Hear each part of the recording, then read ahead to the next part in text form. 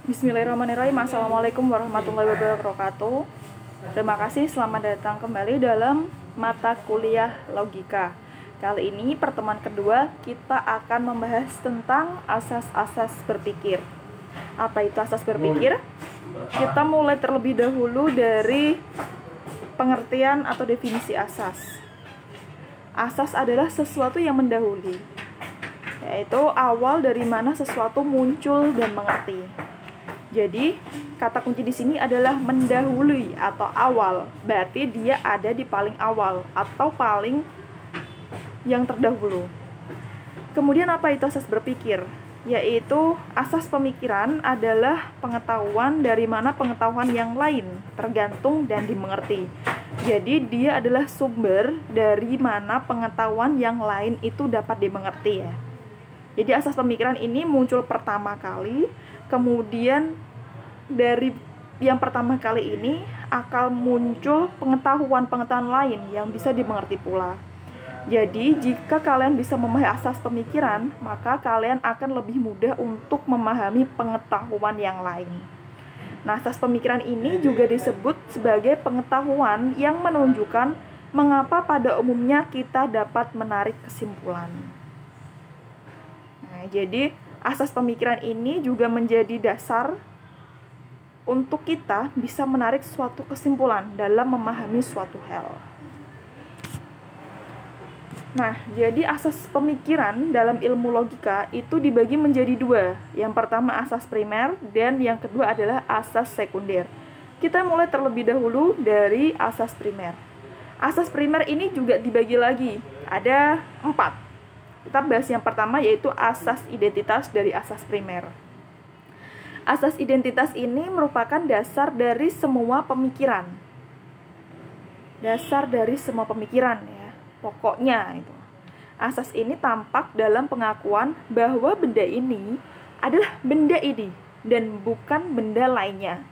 Jadi kalau A ya A, kalau B ya B. A itu bukan B dan B itu bukan A atau benda itu adalah benda itu dan bukan benda lainnya. Dalam logika, pernyataan ini berarti apabila sesuatu diakui, semua kesimpulan yang lain yang ditarik dari pengakuan itu juga harus diakui. Apabila sesuatu diakui, lalu kesimpulan yang ditarik daripadanya dimungkiri. Hal itu menyatakan bahwa pengakuan tadi dibatalkan, tidak dapat diakui, dan serentak pula dimungkiri. Misal, gula itu manis kami anak yang cantik. Akbar adalah murid SMP, Rindi dari Pati.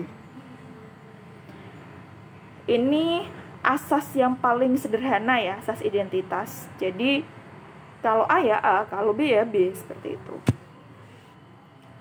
Yang kedua dari asas primer adalah asas kontradiksi atau principium contradiction. Asas ini merupakan perumusan negatif dari asas identitas. Dalam logika, hal ini berarti mentaati asas identitas dengan menjauhkan diri dari kontradiksi. Tidak boleh membatalkan atau memungkiri begitu saja sesuatu yang diakui. Contohnya, mahasiswa yang memakai baju merah bukan mahasiswa jurusan komunikasi angkatan 2020. Jika kita sudah mengakui sesuatu dari bukan A, maka tidak mungkin pada saat itu adalah A. Jadi kontradiksi ini maksudnya adalah lawan ya. Sesuatu yang berbeda.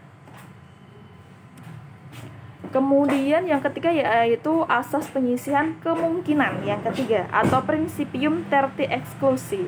Asas ini menyatakan bahwa kemungkinan yang ketiga tidak ada. Artinya, jika ada dua keputusan yang kontradiktoris atau berbeda, pastilah salah satunya salah satu di antaranya adalah salah. Sebab keputusan yang satu merobohkan keputusan yang lainnya. Tidak mungkin keduanya sama-sama benar atau sama-sama salah. Contohnya, mahasiswa yang makan di kantin pukul 11.30 semuanya wanita, tidak ada pria. Ini kan tadi satu benar, yang satu salah. Yang satu itu benar semuanya wanita, jadi yang kedua tidak ada pria ya. Tidak semuanya itu tidak bisa sama-sama benar atau tidak bisa sama-sama salah. Jadi harus ada satu yang benar atau harus ada satu yang salah.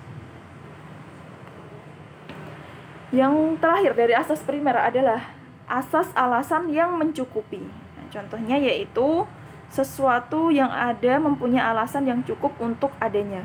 Ah, asas ini menyatakan bahwa sesuatu yang ada mempunyai alasan yang cukup untuk adanya. Bukan sesuatu, tetapi segala sesuatu mempunyai alasan yang cukup untuk adanya. Segala sesuatu itu dapat dimengerti, tetapi janganlah memperluas penerapan asas ini pada semua yang ada. Penerapan itu tidak boleh dikenakan pada sesuatu yang hanya satu saja, sebab tidak semua kenyataan dapat dimengerti dengan cara yang memadai. Pikiran manusia sangat terbatas.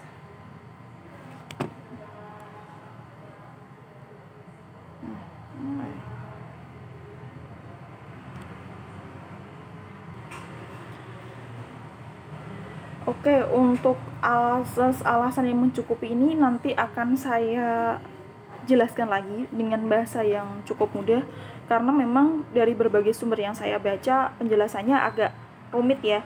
Nanti kita akan sederhanakan bersama untuk lebih memahami apa itu azas alasan yang mencukupi. Kita lanjut aja terlebih dahulu ke asas sekunder. Nah, jadi asas sekunder dibagi menjadi dua. Yang satu dari sudut isinya dan yang kedua dari sudut luasnya. Nah, yang pertama dari sudut isinya yaitu asas kesesuaian atau principium convinte. Asas ini menyatakan bahwa ada dua hal yang sama. Salah satu dari antaranya sama dengan hal yang ketiga tadi.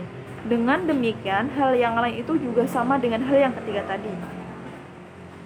Misalnya, jika S sama dengan M dan M sama dengan P, maka sama dengan maka S sama dengan P dengan catatan bahwa S dan P di sini dihubungkan satu sama lain dengan satu M. Misal, Amin S adalah mahasiswa yang pandai M. Mahasiswa yang pandai M itu hebat. P.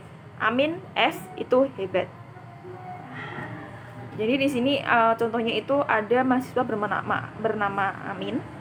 Dia yang pandai. Nah, mahasiswa yang pandai itu mahasiswa yang pandai itu pasti hebat. Jadi Amin itu hebat bisa dikatakan bahwa S kesimpulannya adalah P, tapi harus dihubungkan oleh M. Paham ya? S sama dengan P, tapi sebelumnya harus dihubungkan oleh M. Kalau semisal M itu tidak sama dengan, jadi misal gini, S tidak sama dengan M, tapi dan M sama dengan P, maka S tidak sama dengan P. Paham ya? Nah ini kayaknya lebih enak kalau dijelaskan langsung di papan tulis tapi ya sudah yang penting kalian paham. Kemudian yang kedua yaitu asas ketidaksesuaian atau principium inconveniente asas ini juga menyatakan bahwa ada dua hal yang sama tetapi salah satu dari antaranya tidak sama dengan hal yang ketiga. Dengan demikian hal yang itu juga tidak sama dengan hal yang ketiga tadi.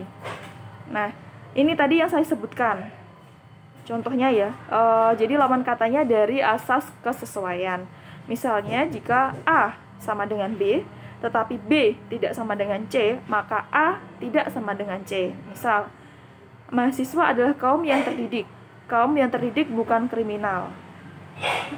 Jadi, mahasiswa bukan kriminal. Paham ya? Mahasiswa bukan kriminal. Kaum yang terdidik bukan kriminal. Mahasiswa bukan kriminal. Yang kedua dilihat dari sudut luasnya. Asas dikatakan tentang semua principium dictum de omni. Jadi asas dikatakan tentang tentang semuanya atau principium dictum de omni. Apa yang secara universal diterapkan pada seluruh lingkungan suatu pengertian atau subjek boleh diterapkan pada semua bawahnya. Misal, tidak seorang pun mahasiswa Kata pengertian atau konsep ini berlaku dari contoh di atas. Tidak seorang pun mahasiswa. Sebentar. Ini sepertinya saya masih kurang ini. Ada. Oh. Nanti untuk yang asas sekunder ini saya diingatkan lagi ya di grup ya kalau ada yang kurang. Nah, demikian saja. Jadi ini materi yang saya bawakan kali ini jadi untuk memahami asas-asas berpikir ini paling gampang itu untuk memahami bagaimana contohnya.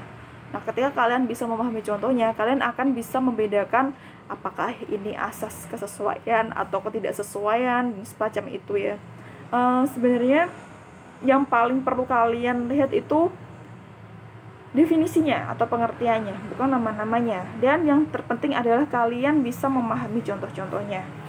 Baik, kita langsung saja diskusi di grup. Terima kasih sudah menyimak kuliah ini. Mari kita diskusi di grup. Terima kasih. Wassalamualaikum warahmatullahi wabarakatuh.